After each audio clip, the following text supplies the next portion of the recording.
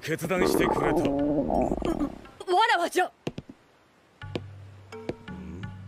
宴の時女たちに追いかけ回されて飯食えなかったんだここで見つかれば万事休すじゃ O Luffy tem uma sorte tão grande que ele consegue fazer inveja em qualquer pessoa existente no mundo. Se o Sanji visse essas cenas sem dúvidas ele teria um ataque do coração causado pela inveja que ele sentiria pelo Luffy. こうかん熱でもあるのか 顔が赤いがな。んでもない。今のは男のわ声わらわじゃ。んイクション